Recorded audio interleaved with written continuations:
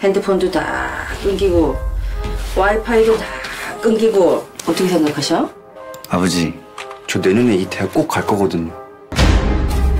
지금부터도 다시 시작하실 수 있습니다. 지금은 정말 성적을 많이 바꿀 수 있는 시기입니다. 선생님이 여러 수강생들 중에서 6경에서 3, 4등급 나왔다가 수능에 1등급 나온 친구들은 정말 많아요. 참으로 시의적절하다.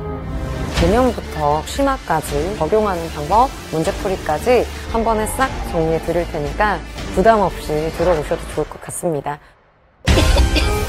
아들아, 어, 너는 계획이 다 있구나.